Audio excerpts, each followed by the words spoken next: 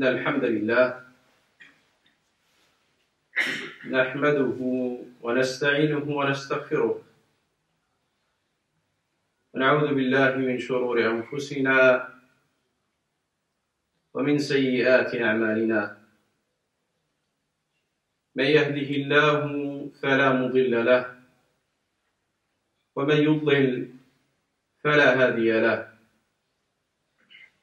وأشهد أن لا إله إلا الله وحده لا شريك له.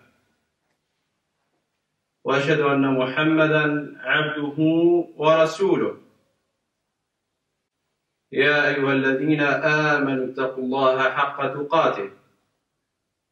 ولا تموتن إلا وأنتم مسلمون.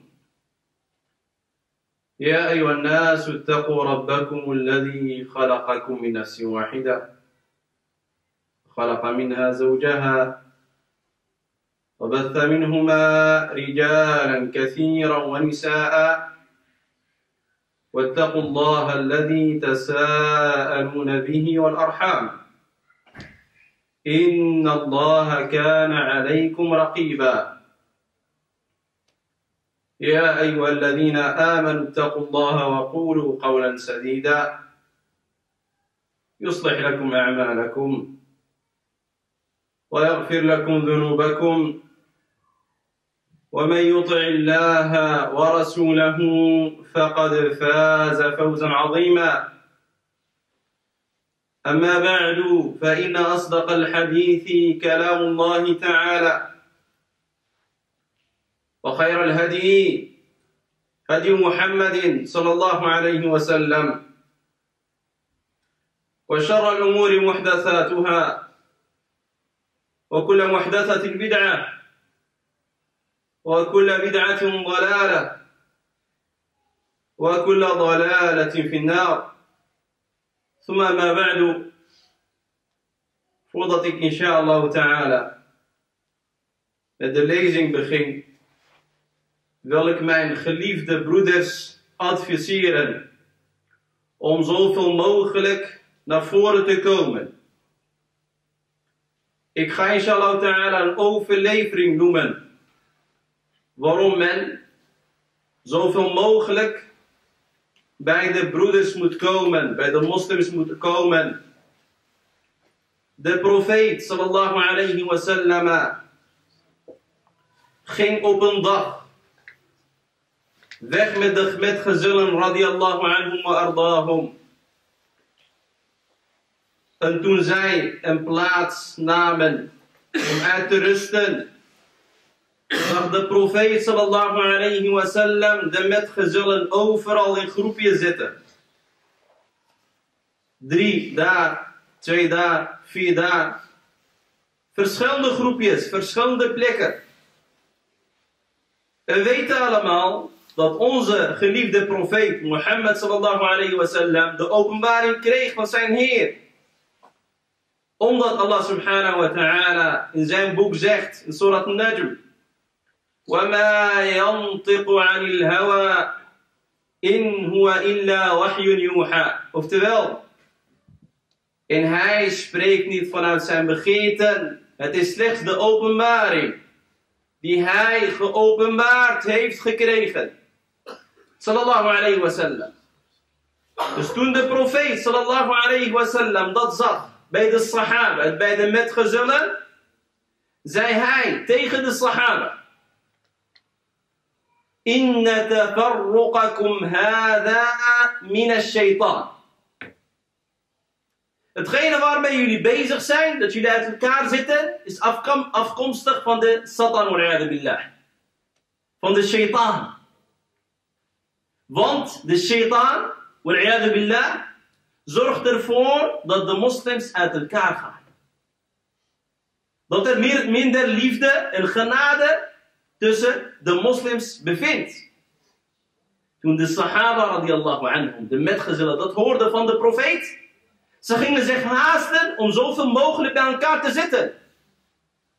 Dat de sahabi, dat de metgezel, radiallahu anhu, zelf zegt, we zaten bij elkaar op een kleedjeshaan. Ze zaten allemaal bij elkaar op één kleedje. Helemaal bij elkaar, geplakt aan elkaar. Waarom? Kijk, de gehoorzaming van de metgezellen jegens de boodschapper van Allah sallallahu alayhi wa sallam. Dan is de vraag, waarom heeft de profeet sallallahu dat gezegd? Als we kijken naar de vrijdagspreek, wat een verplichting is om bij te wonen voor de mannen. Waarom moeten de moslims bij elkaar komen? De geleerden zeggen dat een van de weesheden die erachter zit, dat het bijkomen van de moslims bij elkaar genade brengt, broederschap brengt. Dat ze juist meer liefde voor elkaar gaan creëren, gaan opwekken, gaan opbouwen voor elkaar. Zodat ze ook dezelfde doelen krijgen, het goede voor elkaar gaan wensen. En de islam is gekomen met de eenheid. Dus de vrijdag bij elkaar komen. En als we kijken naar de Eid, naar de feesten die de moslims hebben. De moslims hebben maar twee feesten per jaar. Eid al-Fitr en Eid al-Adha. En het behoort tot de sunnah van de profeet sallam dat het gebed van een Eid verricht moet worden in een musalla. Dat wil zeggen dat het niet in de moskeeën verricht wordt, maar in een open plek. Zodat het mogelijk is voor alle moslims om bij elkaar te komen in één plek om het gebed samen te verrichten. Dus laten we zeggen, als we een stad hebben, dan is het verstandig dat wij een plek gaan kiezen. En dat al die moslims bij elkaar komen, komen en dat ze het gebed samen gaan verrichten. Waarom? Zodat de moslims minimaal twee keer per jaar bij elkaar komen, elkaar leren kennen. De eenheid vormen waarmee de islam is gekomen. En ook bij Eid al-Fitr of Eid al-Adha. Dus we hebben in de islam twee feesten zoals ik al zei. Eid al-Fitr op 1 Shawwal als de Ramadan beëindigd is. En ook op de tiende van Dhul Hijjah, Eid al-Adha. Wanneer men de bedevaart beëindigt de Eid al-Adha. En als we kijken naar de Hajj, dat men minimaal één keer in zijn leven de Hajj moet verrichten. Dan komen zoveel mensen bij elkaar in de Hajj. Miljoenen mensen komen bij elkaar. Dat is de eenheid die de islam wil vormen. Dat mensen, zoveel mensen bij elkaar komen, elkaar gaan leren kennen. Dat is hetgene wat de islam wil. Omdat ze juist het goede voor elkaar wensen. Voor degenen die ooit naar Hajj zijn geweest, of naar Umrah zijn geweest, je komt zoveel mensen tegen. Van verschillende streken. Van verschillende werelddelen. En soms komt het wel eens voor dat ze niet eens dezelfde, dezelfde taal spreken. Dat ze niet eens elkaar kunnen verstaan. Waarom? De eenheid vormen. De genade voor elkaar, de liefde voor elkaar. Dat is wat de islam wil. En daarom is het, is het een advies voor jullie, en ook voor mezelf. Als jij een zitting van kennis wilt bijwonen, zorg ervoor dat jij zo dichterbij mogelijk wat bij de spreker komt. Want het is iets wat jij nodig hebt. Dat jij zo dichterbij mogelijk gaat zitten en geconcentreerd gaat luisteren. Niet wat sommige mensen doen. Hij zit bij een zitting van kennis, maar hij speelt met zijn computer en met zijn telefoon. Hij zit te sms'en, te whatsappen.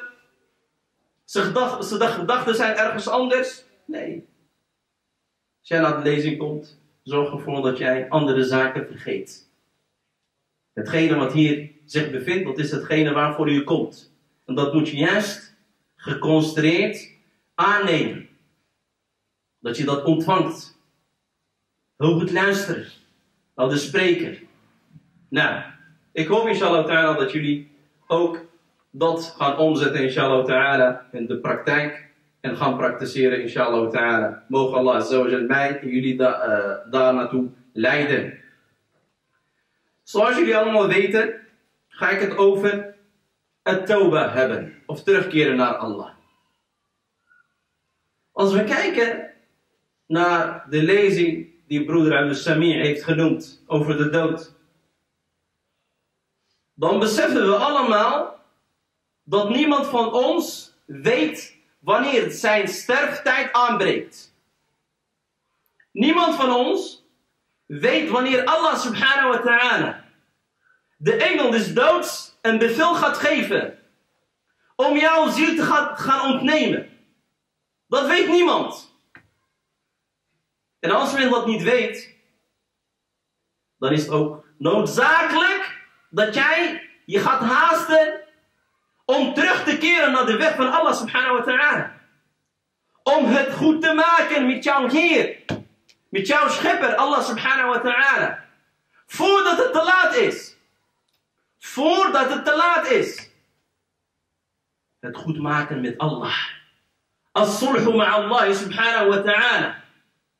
Want we weten allemaal dat het wereldse een tijdelijke bestemming is. Daarom dunya is een tijdelijke bestemming. Of een tijdelijke plaats. Maar het hiernamaals is pas de eeuwige leven. De ware leven. Dan moeten wij weten dat het terugkeren naar Allah niet een aanbevolen zaak is. Dus als men wil terugkeren naar Allah, dan doet hij dat. En als men dat niet wil, dan is het geen probleem. Dan is het geen probleem. Dan kan het jou niet schaden. Zo is het niet, mijn broeder in de islam. En mijn zuster in de islam. Luister goed naar de volgende vers. Waar Allah subhanahu wa ta'ala in zegt. Ja, ayyuhalladhina amanu. توبوا إلى الله توبة نصوحا عسى ربكم أن يكفر عنكم سيئاتكم ويدخلكم جنات جنات تجري من تحتها الأنهار. يوم لا يخزي الله النبي والذين آمنوا معه. نورهم يسعى بين أيديهم وبأيمانهم. يقولون ربنا أتمم لنا نورنا واغفر لنا Inna ala kulli shay'in qadir. Oftewel, Allah subhanahu wa ta'ala zegt, interpretatie van de betekenis. O jullie die geloven, de salaf, de vrome voorgangers hebben gezegd, als men een vers tegenkomt in de Koran, wat begint met de volgende woorden, Ja ayyuhalladhina amanu. O jullie die geloven. Dan hoort men zijn oren open te maken. Zijn hart open te slaan. Want het is een zaak. Wat goed voor je moet zijn. Wat jij hoort na te komen. Het is een goede zaak wat jij moet nakomen. Of het is een slechte zaak wat jij hoort te vermijden. Dus als je hoort, o jullie die geloven, Ga aandachtig luisteren. En ga je hart openslaan. En ga goed luisteren. Want het kan een zaak zijn. Wat jij moet nakomen voor Allah subhanahu wa ta'ala. Of een zaak zijn wat jij hoort te vermijden voor Allah subhanahu wa ta'ala. O jullie die geloven. Keer terug. Berouwvol tot Allah subhanahu wa ta'ala tubu ilallahi, oftewel met oprechte berouw. Het. En als we kijken naar de context, dan is het een bevel van Allah subhanahu wa ta'ala. O jullie die geloven, keer terug tot Allah subhanahu wa ta'ala met oprechte berouw. Dan hebben de geleerden gezegd dat het een verplichting is voor elke moslim om berouwvol te tonen voor Allah subhanahu wa ta'ala. Dus het verrichten van brouw of brouwvol te keren naar Allah is een verplichting voor elke moslim. Dat hoor jij te weten. Elke moslim hoort te weten dat het hier gaat om een verplichting. Wat wij moeten nakomen. Wat wij moeten verrichten voor Allah subhanahu wa ta'ala. En dat men ook beseft en weet. Dat als men dat nakomt dat het ook hetgene is wat hem kan baten, zowel in het wereldse als in het hiernamaals. Terug te keren naar Allah subhanahu wa ta'ala. Naar het pad van Allah subhanahu wa ta'ala. Naar de welbehagen van Allah. naar de tevredenheid van Allah subhanahu wa ta'ala, naar hetgene wat ons tot welslagen kan brengen, wat ons kan baten. Hetgene wat elke moslim gelukkig maakt, zowel in het wereldse als in het hiernamaals. Dus het is een verplichting voor elke moslim. En als men dat doet, dat hij moet weten dat hij dat doet omdat hij de tevredenheid van Allah subhanahu wa ta'ala wil behalen. Omdat hij ook de weg van de profeet sallam wil bewandelen. Want de profeet sallam zegt in de overlevering. Wallahi, inni la atubu ila Allahi, of la astaghfiru Allah wa atubu ilayhi fil yawmi akthara min sab'ina marrah. De profeet sallam onze geliefde profeet Mohammed sallallahu alayhi wa sallam. Hij zegt, de vertaling daarvan, bij Allah. Ik verricht of ik vraag vergevenis aan Allah subhanahu wa ta'ala. En ik, ik toon brouw vol voor Allah meer dan 70 keer per dag. Dan is de vraag, als onze geliefde profeet sallallahu meer dan 70 keer per dag vergevenis vraagt en brouwvol verricht voor Allah subhanahu wa ta'ala. Hoe vaak moeten wij dat doen?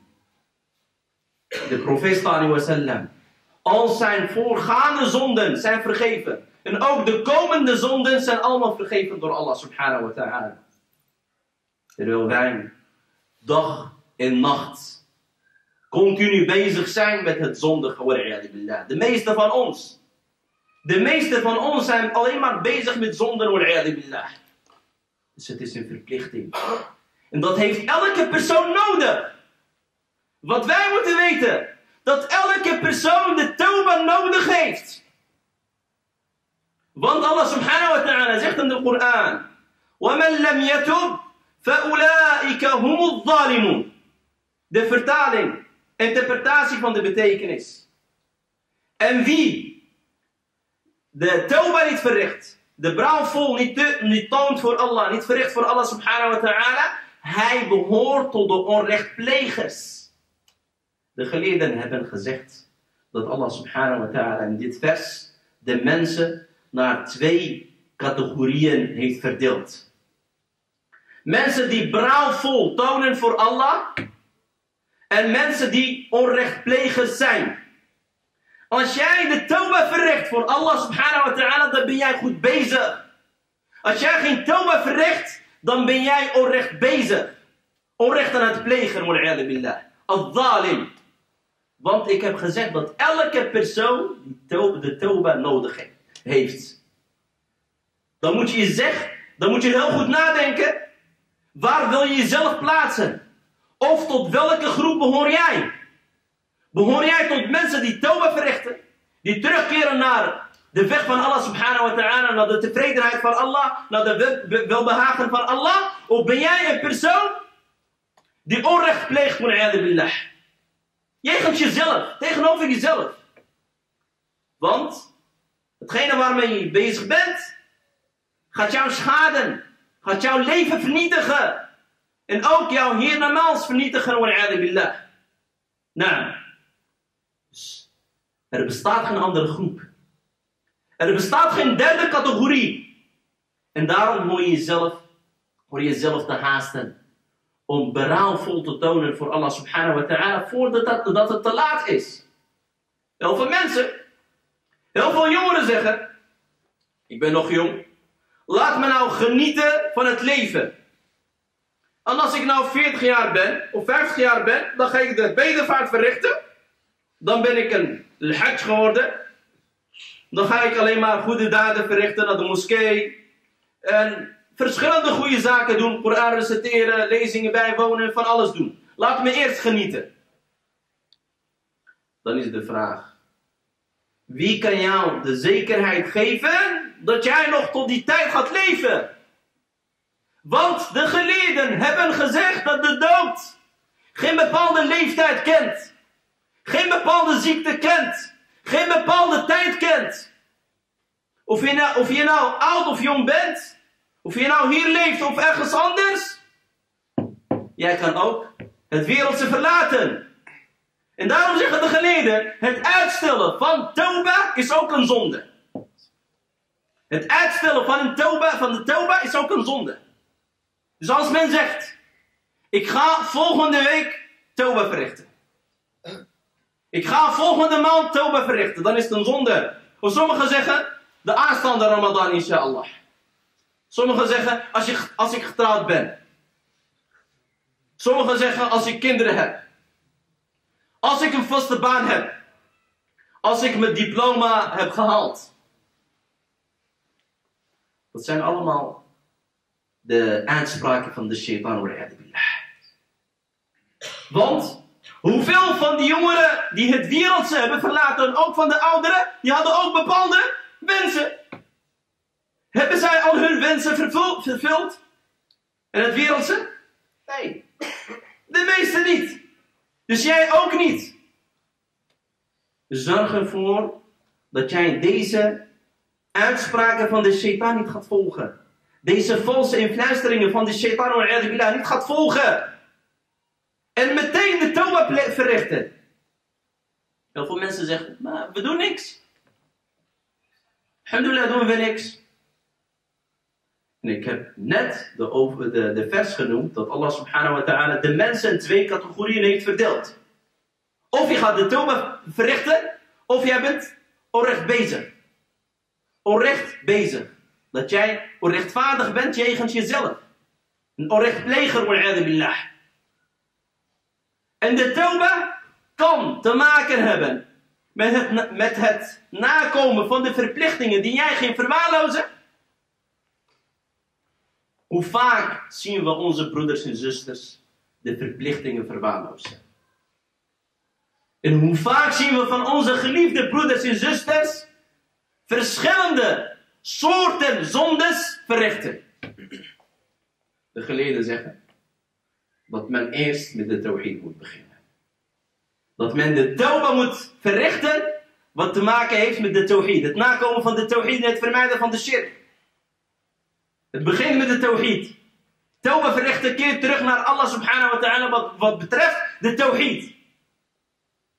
Dat jij geen ongeloof verricht.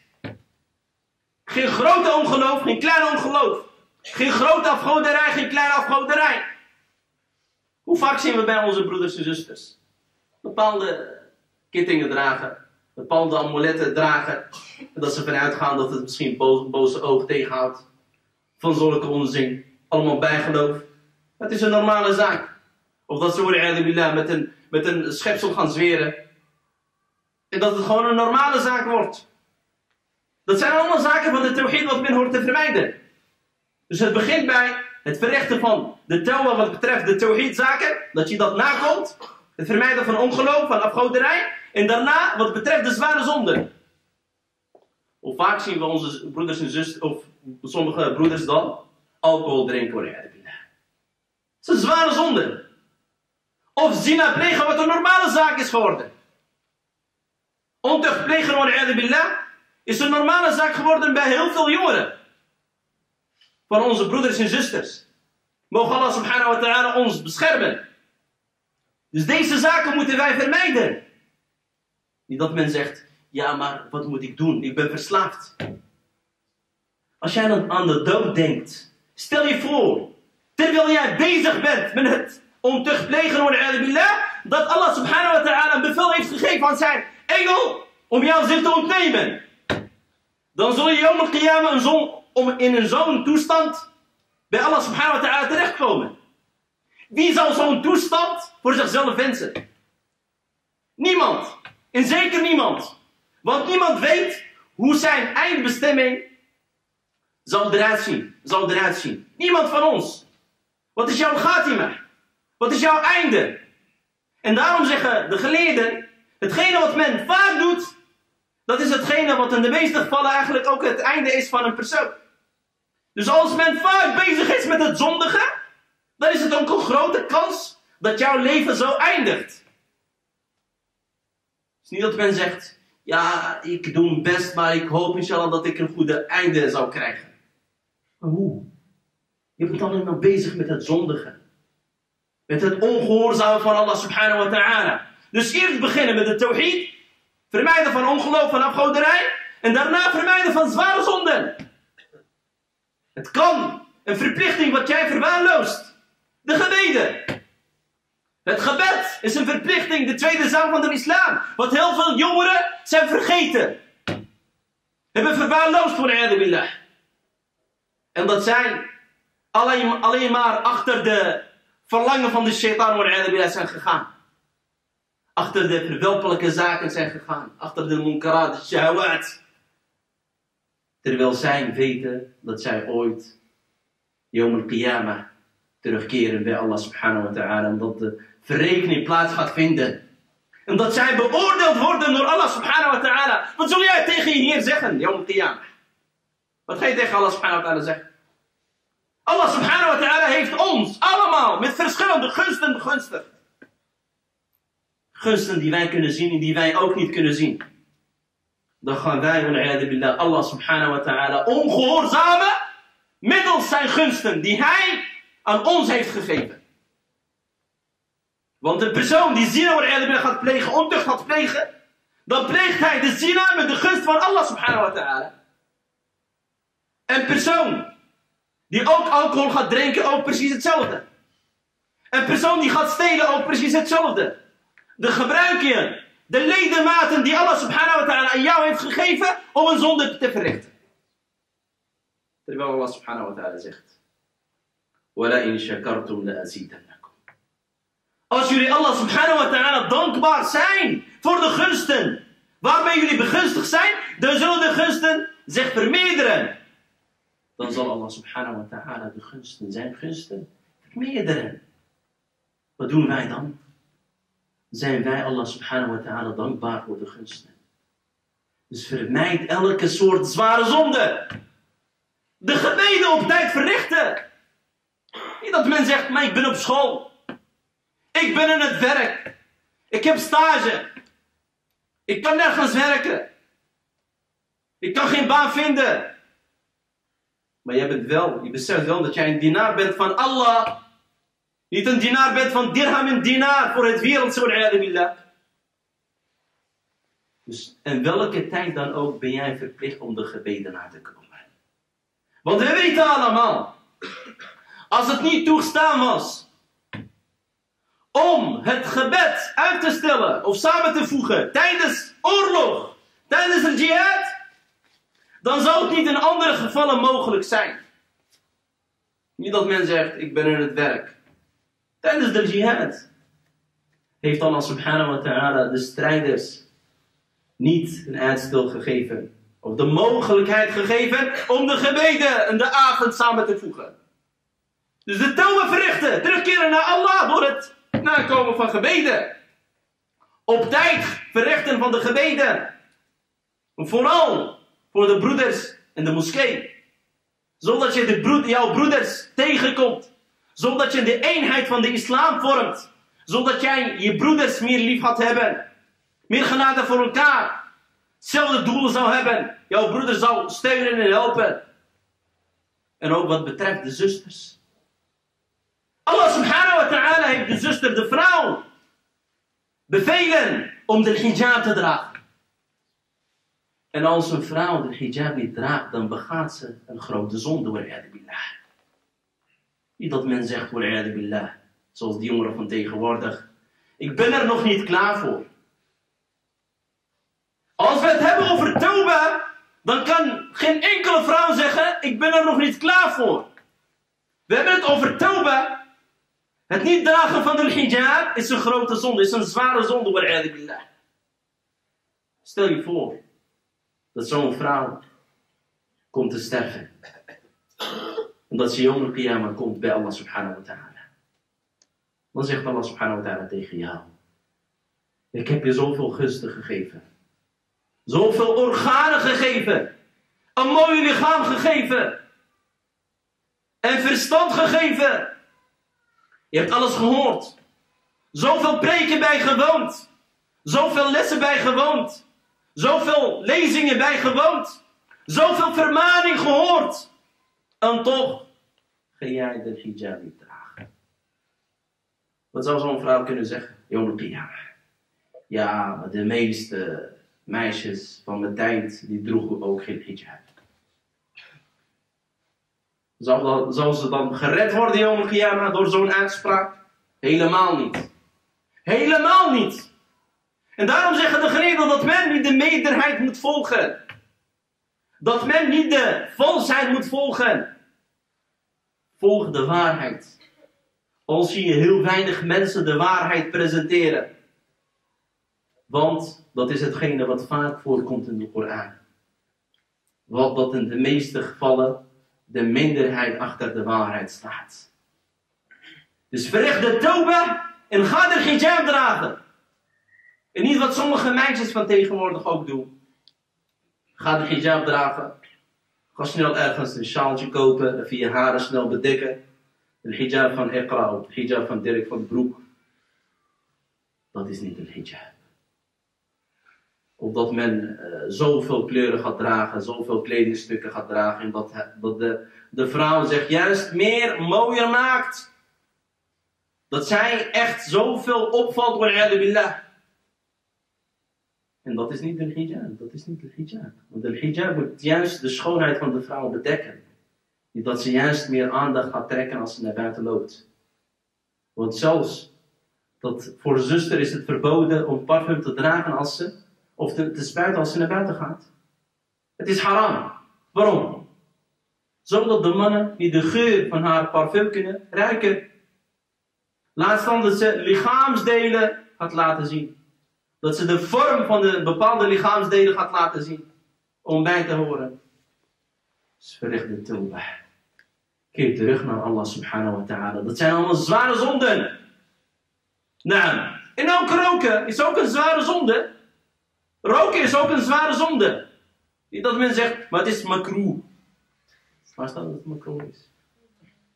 Alles wat echt uh, bewezen is dat het echt slecht voor je is, is verboden, is haram. Dat mogen wij niet doen. Want Allah subhanahu wa ta'ala heeft jou een lichaam gegeven, dat je gezond bent. Heeft jou geld gegeven. Er zijn zoveel arme mensen die niet eens brood kunnen hebben. Die niet eens water kunnen hebben, schone water kunnen hebben. Niet eens kleren kunnen hebben, onderdak kunnen hebben. Omdat jij dagelijks 20 euro, 10 euro verspilt aan sigaretten. Terwijl wij zullen zien het is dodelijk. Het is dodelijk, maar toch geef je geld om jezelf te doden. Dus Yom al als jij bij Allah subhanahu wa ta'ala komt, Allah subhanahu wa ta'ala gaat jou vragen. Ik heb jou deze gunst gegeven, geld gegeven. Wat heb je daarmee gedaan? Heb je het als donatie gegeven aan een moskee? Of aan weeskinderen, om aan de armen, aan de behoeftigen? Of heb je juist de gerrit ermee gekocht? Durf je zoiets tegen Allah subhanahu wa ta'ala te zeggen, Yom Qiyamah? Helemaal niet. En mensen die roddelen. Over iedereen gaan ze roddelen. L-ghiba verricht billah. En de ghiba, de beschrijving daarvan, de professor zei, Zikruka akhaka bima. Hetgene wat jouw broeder verafschuwt, dat is de ghiba. Als jij dat noemt, terwijl hij niet aanwezig is, dan heb jij een ghiba verricht. Dan ben jij aan het roddelen. Dan zeggen sommige mensen, maar ja, dat doet hij ook. Als hij dat doet, dan is het riba. Maar als hij dat niet doet, dan ben je ook aan het liegen. Dan ben je ook een buhtan aan het verspreiden. Zaken aan het verspreiden die leugens zijn. En daarom zeggen de geleerden. Als jij toch over een persoon wil roddelen, dan is het beter dat men over zijn ouders gaat roddelen.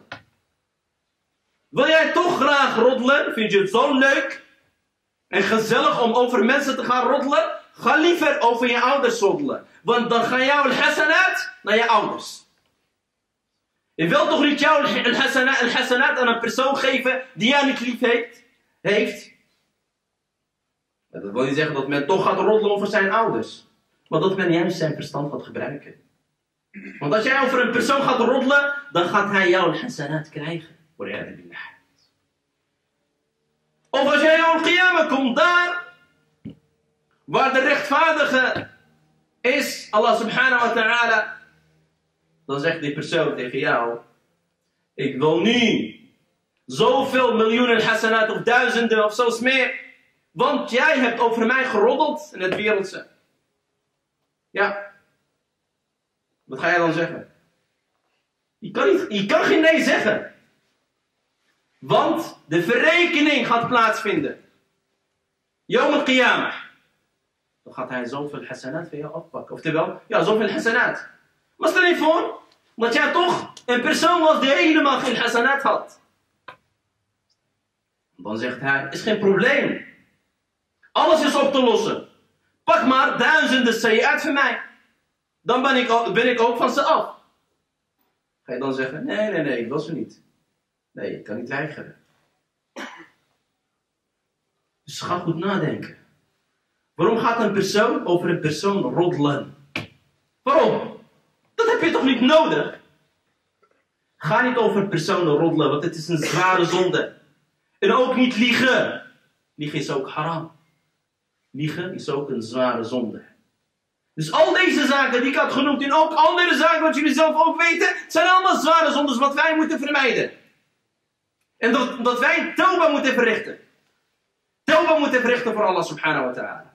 En ook als het gaat om kleine zonden, moeten we ook de tauba verrichten voor Allah subhanahu wa ta'ala. Van elke zonde dan ook. Niet dat men zegt, maar het is een kleine zonde, is geen probleem. Een kleine zonde, nog een kleine zonde, nog een kleine zonde. Als we kijken naar een berg, een grote berg, laten we zeggen berg Uhud van Medina. Het bestaat uit kleine steentjes. Maar het is uiteindelijk wel een berg, grote berg. En zo begint het ook bij de zondes. En daarom heeft een vrome voorganger gezegd, een mooie uitspraak. لو وضع في بيتي بكل ذنب اقترفته حجرا ما بقي في بيتي موضع قدم. Als, als, als er in mijn huis een steen wordt gezet of neergelegd, bij elke zonde die ik verricht, dan zou er geen enkele plek overblijven in mijn huis. Het zijn zoveel zondes wat wij plegen. Dagelijks. Het is een normale zaak geworden. Het is een gewoonte geworden. Wat wij niet moeten ontkennen. De meeste van ons. Dus hij zegt, dan zal er helemaal geen plek overblijven. De zondes zijn zoveel. Het zijn wel kleine zondes, maar uiteindelijk. Wat heeft ook invloed op je hart? Dus ga niet zeggen het is een kleine zonde. Want de shaitan begint ook, begint ook daarmee. Gaat jou eerst uitnodigen door, naar het verrichten van een kleine zonde, vervolgens een grote zonde, voor, vervolgens grote koffer Het ongeloof. Maar fouderij. En vervolgens treedt je buiten het geloof, dan zegt hij, sorry, ik heb niks gedaan. Zoek het maar zelf uit. En dat is ook hetgene wat hij Yom Kiyama gaat zeggen. Tegen jou. Tegen de zondaar. Ik heb niks gezegd. Heb ik jou gedwongen? Je hebt mij zelf gevolgd. Met je eigen wil. Terwijl jij wist dat ik een vijand ben voor jou. Terwijl wij allemaal kennis hebben hierover en toch doen we dat. Dus daarom horen wij Toba te verrichten, ook voor elke kleine zonde. Dat men zegt, is geen probleem. Maar daar begint het mee. Ga niet zeggen, is geen probleem. Want daarom zeggen de zelf, kijk niet naar de, de grootte van een zonde. Of het nou een kleine zonde of een grote zonde. Kijk naar wie je ongehoorzaam bent. Wie ben je het ongehoorzame? Dat is Allah subhanahu wa ta'ala, de geweldige, de alwetende, de alziende, de alhorende, subhanahu wa ta'ala. Dus kijk niet naar een zonde, het is een kleine zonde. Maar jij bent jouw Heer, de schepper van de hemel en de aarde, en het zondige, en het ongehoorzame. billah. Al deze zaken moeten wij vermijden. Vervolgens komen we bij de voorwaarden van Toba. Want elke persoon kan zeggen: Ja, ik heb brouw uh, getoond. Brouwvol getoond. Voor Allah subhanahu wa ta'ala. Of Toba verricht. Maar daarom hebben de geleden de Koran en de Sunnah bestudeerd. Ze gingen zoeken naar de voorwaarden van het Toba. Dus als het gaat om een geweldige zaak, dan zijn er in de meeste gevallen ook voorwaarden aan verbonden. Die een persoon moet nakomen. De eerste voorwaarde wat de geleerden zeggen of noemen, dat men de ikhlas moet hebben. De ikhlas moet hebben en het verrichten van de tauba. Dat doe je voor wie? Dat doe je voor Allah subhanahu wa ta'ala. Omdat jij de verplichting wil nakomen, omdat jij jouw Heer wil tevreden maken, omdat jij de voetsporen van Allah subhanahu wa ta'ala wil bewandelen. Dat is de ikhlas. Je doet het voor Allah. Voor de tevredenheid van Allah. Voor de welbehagen van Allah subhanahu wa ta'ala. Want heel veel mensen, laten we zeggen, als men arm is, men kan geen alcohol kopen, of misschien geen sigaretten kan kopen, misschien kan men geen zina plegen, ontucht plegen als men dat doet met geld. Dan doet men dat niet. Maar heeft hij dat verlaten voor Allah? Met angst, met ontzag voor Allah subhanahu wa ta'ala, omdat hij ontzag had jegens zijn Heer, Allah subhanahu wa ta'ala? Nee, omdat hij niet in staat was om die zonde te verrichten. En als hij weer geld heeft, bezittingen heeft, dan gaat hij dat ook doen. Want laten we zeggen, als een persoon wil inbreken bij een bank. En het is hem niet gelukt om binnen te komen, om wat geld mee te nemen, en hij gaat naar huis. Heeft hij gebroken? Wat meegenomen? Nee. Heeft hij de toba verricht? Heeft hij dat gelaten? Omdat hij ontzag had voor Allah? Nee. Omdat hij niet naar binnen kon. Dus de ikhlas hebben bij de tawbah. Dat jij dat doet voor Allah subhanahu wa ta'ala. Voor niemand anders. Voor Allah subhanahu wa ta'ala alleen. En de tweede zaak. Een nadam. Oftewel al-iqla' dat men afstand neemt van de zonde. Dat men afstand neemt meteen, gelijk afstand nemen van de zonde, van de verboden zaken. Of dat hij meteen ook de verplichte zaken wat hij verwaarloosd heeft in het verleden nakomt. Meteen. Niet uitstellen. Want ik zei, uitstellen is ook een zonde. Niet dat men zegt, ja, maar ik heb het al. Dus laten we zeggen, haram geld of iets anders. Ik heb het al, totdat het op is. Laten we zeggen, ik heb een paar flessen alcohol gekocht. Ja, maar is, islam is ook tegen het voorspellen van zaken, toch? Dus eerst opmaken. Of ik heb een paar zoontjes gekocht. Eerst opmaken en daarna ga ik de toba verrichten. Dat kan niet. Dat bestaat niet. Meteen stoppen met zonde. Meteen stoppen van zonde. Dus uh, het tak, klaar. En vervolgens ook de nadam, spijt hebben vanuit je hart. En daarom zei de profeet sallallahu en nadamu tawbah. Het, spijt wat jij hebt in je hart is ook een, een. Wat jij verricht voor Allah. Subhanahu wa ta'ala. Want daar begint het met nadam. Als een persoon geen spijt heeft. Dan wil de hele dag blijven zeggen. Ik ben aan het verrichten. Ik stop met de zonde. Maar Allah subhanahu wa ta'ala weet wat een persoon in zijn hart heeft.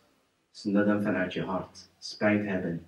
En ook al-azm vastberadenheid hebben. Om niet terug te keren naar dezelfde zonde. Je best doen. Om niet naar dezelfde zonde terug te keren. Omdat jij Allah vreest. Omdat jij de bestraffing van Allah vreest. Omdat jij denkt aan de verrekening die plaats gaat vinden. Yom al Waarin de beoordeling die plaats gaat vinden. En ook de laatste voorwaarde wat ik ga noemen. Als het gaat om rechten van anderen van de mede-moslim, dat jij dat ook teruggeeft. Als het gaat om bezitting, om geld, bepaalde rechten, dan hoor je dat ook terug te geven. Zolang het nog kan in het wereldse leven. Of als een persoon over een ander heeft geroddeld. En die persoon weet het niet, dan hoor jij de dua voor die persoon te verrichten. Vergeefnis te verrichten. Voor die persoon. Allah te smeken om hem te vergeven. En dat jij ook de juiste zaken, de goede zaken van die persoon bij dezelfde mens gaat noemen. Dat zijn een van de voorwaarden, want het gaat nu om rechten van anderen. Want als het gaat om zaken tussen jou en Allah, dan zijn het de eerste vier, of de eerste, ja, de eerste vier. En als het gaat om zaken tussen jou en de andere mede-moslims, dan hoef je ook hun rechten terug te geven. Dat moet jij in het wereldse doen voordat jij het wereldse leven gaat verlaten. Dat zijn de voorwaarden. En als een persoon een van deze vijf voorwaarden niet nakomt, dan is er ook geen sprake van oprecht praal. Dan bestaat er geen toba. Dan zijn we billah, aan het spotten met Allah subhanahu wa ta'ala. Al-istiza faqat. We zijn onszelf aan de maling het nemen. Of voor gek aan het houden. We verrichten de toba, maar welke toba? De voorwaarden zijn niet aanwezig. Dus er is ook geen sprake van toba. Wal billah. En de laatste zaak, inshallah ta'ala, als men de toba verricht, weet dat Allah subhanahu wa ta'ala voor jou gaat houden. Dat zijn de vruchten, wat men plukt in het wereldse. En ook in het hiernamaals. Allah subhanahu wa ta'ala zegt in de Koran een mooie vers, prachtig vers. Inna Allah yuhibbu tawabin wa yuhibbu al-mutatahhirin. Voorwaar, Allah subhanahu wa ta'ala heeft de beraamvollen lief. Maar Allah subhanahu wa ta'ala zei, at-tawwabin. De geleerden hebben gezegd dat het hier gaat om een persoon die altijd constant de tawbah blijft verrichten. Niet één keer in zijn leven, één keer per maand. Nee, continu. Constant. Wanneer men een zonde verricht, dat hij de tawbah gaat verrichten. Dan gaat Allah subhanahu wa ta'ala jou lief hebben. En als Allah subhanahu wa ta'ala jou lief gaat hebben, dat jij inshallah ta'ala zeker tot de welslagende zal behoren. Zowel in het wereld als in het hiernamaals. En ook dat Allah subhanahu wa ta'ala heel veel vreugde met jou zal hebben. Want de profeet sallallahu zegt een mooie overlevering. Lallahu ashaddu farahan bi'abdihi حين يتوب إليه من أحدكم كان على راحلته وعليها طعامه وشرابه فانفلتت منه فأيس منها فأتى شجرة فاضطجع في ظلها قد أيس من راحلته. فإذا فبينما هو كذلك إذا هو بها قائمة عنده فأخذ بخطامها وقال من شدة الفرح اللهم أنت عبدي وأنا ربك. أخطأ من شدة الفرح. De profeet sallallahu alayhi wasallam zegt. Voorwaar, Allah subhanahu wa ta'ala heeft meer vreugde voor een persoon die tauba verricht, dan een persoon die met zijn rijdier of zijn kameel in een woestijn was. Of een woestijn trok. En vervolgens is hij zijn rijdier verloren. Terwijl op zijn rijdier zijn voedsel bevond en ook water bevond. Wat hij nodig heeft om te kunnen leven in de woestijn. En toen hij dat verloor, zei hij: Ga maar in de schaduw van die boom plaatsnemen en liggen, wachtend op de dood. Omdat hij geen hoop meer had om zijn rijdeer terug te kunnen vinden in de woestijn. Als je wat kwijtraakt, dan is het ook weg. Vervolgens, toen hij in het slapen was, stond plotseling zijn rijdier met zijn hoofd. Met de wil van Allah subhanahu wa ta'ala, kun fayakun. Toen hij dat zag, zei hij tegen zijn Heer: O Allah, u bent mijn dienaar en ik ben uw Heer. Door de hevige vreugde wat hij had, heeft hij zo'n grote fout gemaakt, maar hij bedoelde dat niet. Onbewust heeft hij dat gezegd. Allahumma anta abdi wa ana rabbuk. Akhta'a min shiddat al-farah. Hij beging een fout. Door de hevige vreugde die hij had. Dus laten we zeggen, een persoon. Die had helemaal geen hoop dat hij nog zou leven. Dus de dood is bijna aangebroken. En vervolgens ziet hij de kans om toch te kunnen blijven. Dat hij nog gaat leven. Als een persoon dat zich kan voorstellen, dan is de, de vreugde wat een persoon had, niet te beschrijven. Maar Allah subhanahu wa ta'ala heeft meer vreugde voor een persoon die tobe verricht. Hij heeft hem lief. Hij is een geliefde persoon bij Allah subhanahu wa ta'ala. Dan zal Allah subhanahu wa ta'ala ook jou leiden naar het goede. Jouw weg vergemakkelijken naar het goede, naar het paradijs. Maar dan moet jij wel de stappen ondernemen. Juist naar de zittingen van kennis gaan. Juist bepaalde godsdienstlessen volgen. Juist bij de goede mensen blijven, bij de goede plaatsen blijven en niet uitstellen. Niet alleen zijn. Als jij een persoon bent, wanneer je alleen bent, dat je alleen maar zonde gaat verrichten, zorg ervoor dat jij bij de vrome mensen blijft. En daarom zegt de profeet sallallahu alaihi wasallam: Qulli man turafiq, aqul laka man ant, of man tukhalim. Zeg tegen, tegen mij met wie je omgaat, dan zal ik ook zeggen wat voor persoon je bent. Als jij met slechte mensen omgaat, met mensen omgaat die alleen maar zondes verrichten, kan ik ook zeggen dat jij zo'n persoon bent. Niet dat men gaat zeggen, ja, maar ik doe het niet. Ik ga wel met slechte mensen om, die stelen, roken, drinken, ontucht plegen, maar ik doe het niet. Heb jij wel een verstand? Heb jij wel hersens? Dat bestaat niet. Dat bestaat helemaal niet. Dus ga met goede mensen om. Die jou aansporen om het goede te verrichten. Om de gebeden aan de moskee te verrichten. Om jouw Heer tevreden te maken. Daar begint het mee. Niet dat men zegt, maar het zijn mijn vrienden van vroeger. Dat zijn mensen die, die met mij op school hebben gezeten. Dat zijn mijn neven, met dit, met dat. Het is hetgeen wat jou gaat schaden.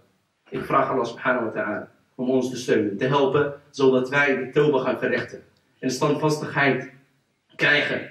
En juist op het pad van Allah subhanahu wa ta'ala, op het rechte pad blijven. Inna waliyu dhalika wal qadru alayh. Wa akhiru da'wana alhamdulillah rabbil alamin. Subhanahu wa bihamdik. Shukru ila tastaghfiru wa tubu Assalamu alaikum wa barakatuh. Blijven zitten. Even vijf de wachten gewoon. Voordat we het gebed gaan verrichten inshallah. Want nog steeds, we gaan inshallah barakallah fik study. De adhan kan gewoon verricht worden. We zijn tijdens Inshallah, adhan wordt verricht. Daarna uh, hebben we nog even tijd, inshallah, voor belangrijke vragen. Waar ik belangrijke vragen, inshallah. Gewoon vijf minuten vragen, inshallah, dan gaan we afsluiten. Na het gebed, inshallah, dan gaan we, is er uh, eten klaargemaakt. Dan gaan we dus aan eten, inshallah.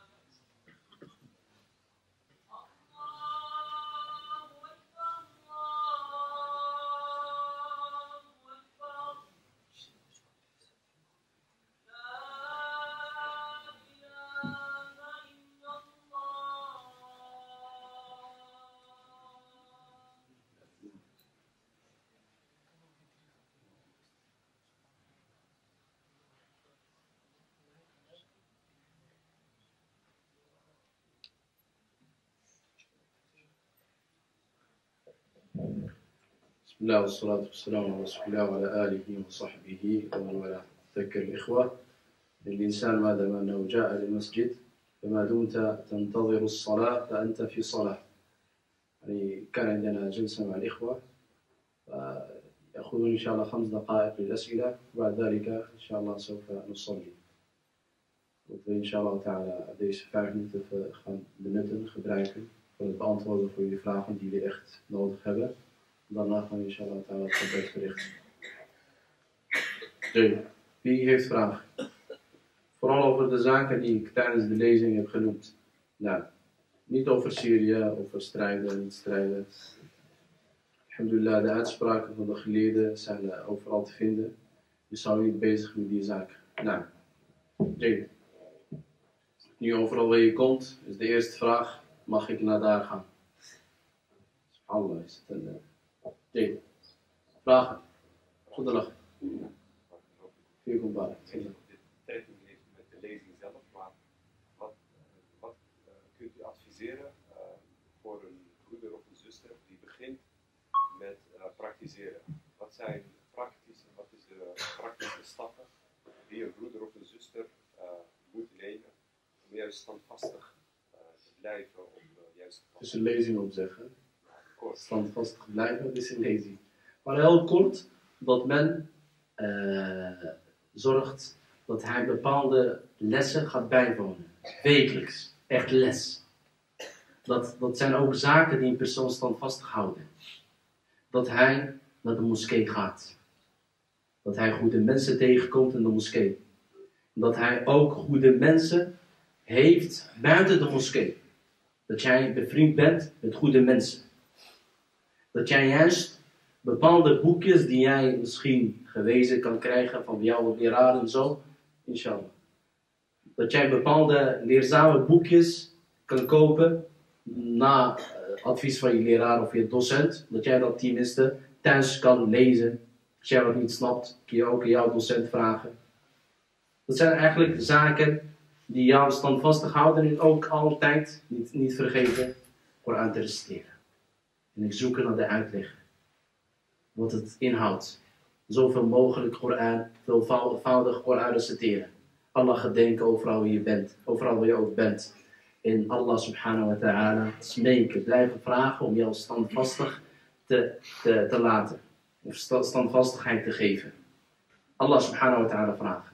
Nou, en elke keer als jij bepaalde zaken te weten komt, dat jij je haast om dat meteen te praktiseren. Kennis wat je ook doet, zorg ervoor dat je dat ook meteen gaat omzetten en daden, inshallah. Het zijn maar kleine zaken. Misschien dat er inshallah ta'ala in de toekomst een lezing is die daarover inshallah praat. Jay, een andere vraag?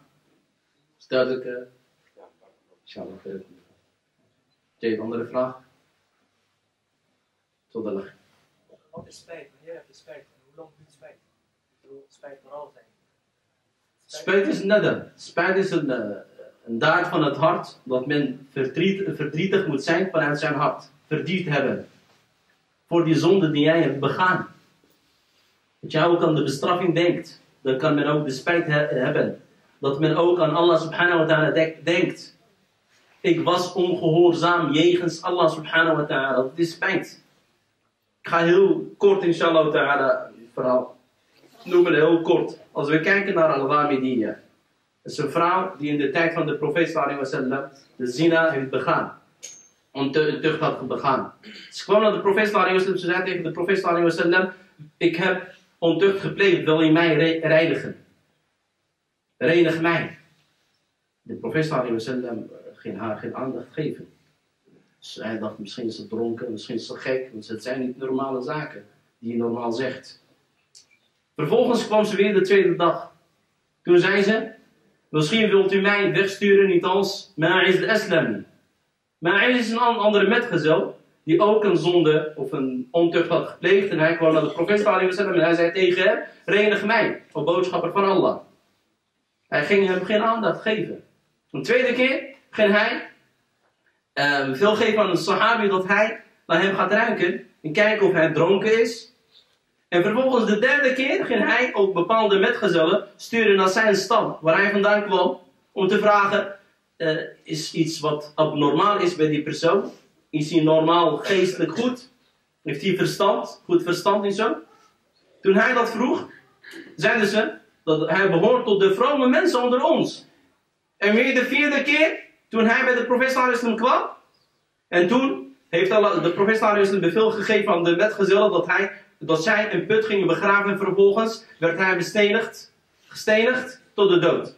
Dus zij radiallahu anha zei tegen de profeet sallallahu misschien wilt u mij wegsturen, niet als Ma'iz de Aslami in de tweede keren, in de eerste tweede keren. Toen zei ze tegen de metgezel radiallahu anha, eh, tegen de, de profeet sallallahu ik ben zwanger door zina. Ik ben zwanger door zina. Dat is een bewijs. Zei tegen hem, ik ben zwanger. Ik heb wel ontucht gepleegd en ik ben zwanger. En weten binnen, de islam, als een vrouw zina pleegt, eh, terwijl zij getrouwd is, dan hoort zij gestenigd te worden tot de dood. Daar. En ze wist dat. Toen de profeet dat hoorde, de genadevolle die Allah subhanahu wa ta'ala heeft gestuurd naar de werelden, hij zei tegen haar, ga maar totdat je bevallen bent. Kijk maar naar de tijd. Als een vrouw normaal, de normale bevalling zou hebben, dan is het negen maanden. Dus zij had negen maanden spijt in haar ha- hart. Dat was zij niet vergeten. Negen maanden lang. En nadat zij bevallen was, kwam zij met haar baby naar de profeet wasallam. Ze zei tegen de profeet wasallam, hier, ik ben bevallen. Dan zegt de profeet te- tegen haar, ga hem borstvoeding geven. Ga weer terug. We weten allemaal, borstvoeding, borstvoeding geven duurt minimaal twee jaar. Heeft zij dat weer gedaan? Dus negen maanden, dus twee jaar, dus bijna drie jaar. Vervolgens, toen ze bij de profeet sallallahu kwam, ze zei tegen de profeet sallallahu alaihi hij zag, oftewel, eh, haar kind had een stukje brood, in zijn hand. Wat eigenlijk verwijst dat hij wel kan eten. Dat hij niet afhankelijk is van bo- borstvoeding. En toen gaf de wasallam een bevel aan de bedgezel dat iemand haar kind neemt. En ook een bevel gegeven om het te begraven. En vervolgens is zij ook bestenigd tot de dood. Vervolgens komt Khalid ibn Walid radiallahu anhu, de sahabi, de metgezel van de profeet sallallahu. Hij gooide een steen. Vervolgens spoot een beetje bloed op zijn gezicht. En hij ging haar uitschelden. Toen zei de profeet sallallahu alaihi wasallam, "Mah, ja Khalid, dat moet je niet doen.